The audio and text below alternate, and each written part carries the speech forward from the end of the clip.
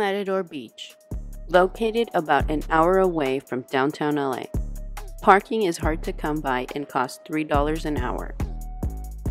The trek from the car park to the beach is scenic and lengthy. There are lots of stairs. This beach is a popular shooting location for movies, music videos, and countless amounts of influencers. Fun fact The Notebook as well as Grease both shot steamy makeout scenes at this beach.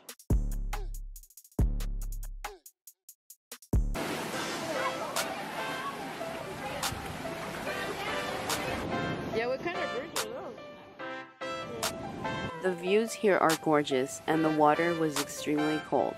It was very fun to explore and crawl through the arches of the massive rock.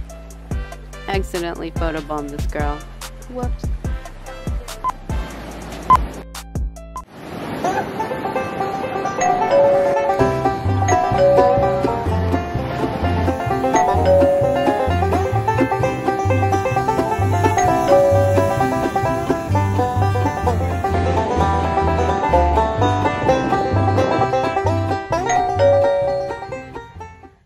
We had a lot of fun visiting El Matador Beach. We definitely recommend seeing it for yourself. Thanks for watching and don't forget to please like and subscribe if you like our video. See you in the next one.